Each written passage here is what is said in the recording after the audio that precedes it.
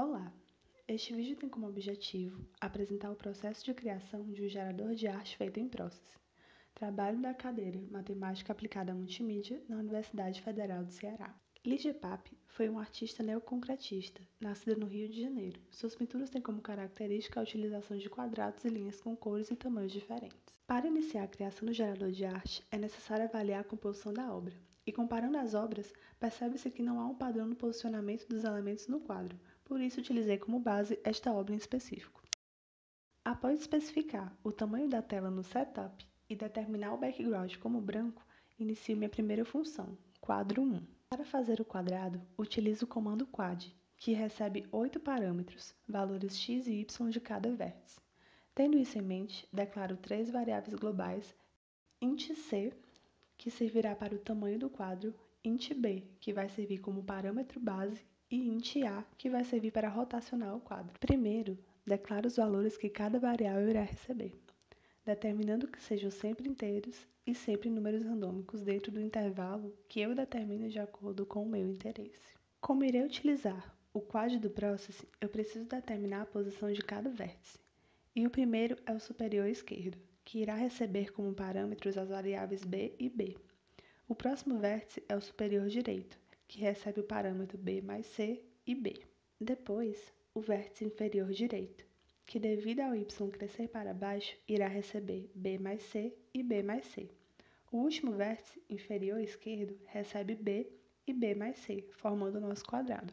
Para rotacionar o quadrado, devo adicioná-lo ou subtraí-lo em cada vértice. No primeiro, adiciono a variável a no parâmetro x e subtraio em y, fazendo o vértice ser movido para a diagonal superior direita. No segundo vértice, adiciono a variável a nos dois parâmetros e sigo essa lógica para cada um dos vértices. Feito isso, eu repito esse modelo para cada uma das funções dos quadrados, mudando apenas as cores e seus valores. Assim, eles são posicionados em locais diferentes com tamanhos e rotações diferentes. Para a criação das linhas, utilizarei o comando line, e para isso eu declaro outras três variáveis globais. O inteiro m, que servirá de valor da base de x, n, que é o valor da base de y, e z, o tamanho da linha. Na função linhas, determino o valor das variáveis m, n e z da mesma forma que a função quadro 1, recebendo valores inteiros e randômicos.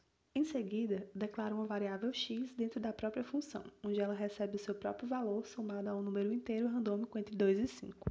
Dentro do comando for com o contador i, utilizando o line coloco m mais i vezes x e n como parâmetros do primeiro ponto, iniciando uma pequena separação entre as linhas. No segundo ponto, coloco m mais e mais i vezes x vezes 4 vezes o número inteiro e randômico entre 2 e 4, aumentando o distanciamento das linhas e m menos e no parâmetro y, para a linha seguir para a diagonal direita. Fiz outra função como essa, mudando apenas a direção, e fiz outras duas onde há apenas uma linha criada. Como a aplicação necessitava de algumas interações, utilizando as variáveis globais, inseri algumas condicionais envolvendo o teclado do computador, onde é possível mudar a cor e o tamanho dos elementos. Chamando todas as funções criadas no Brawl, esse é o resultado final do meu gerador de arte. Obrigada pela atenção e tchau!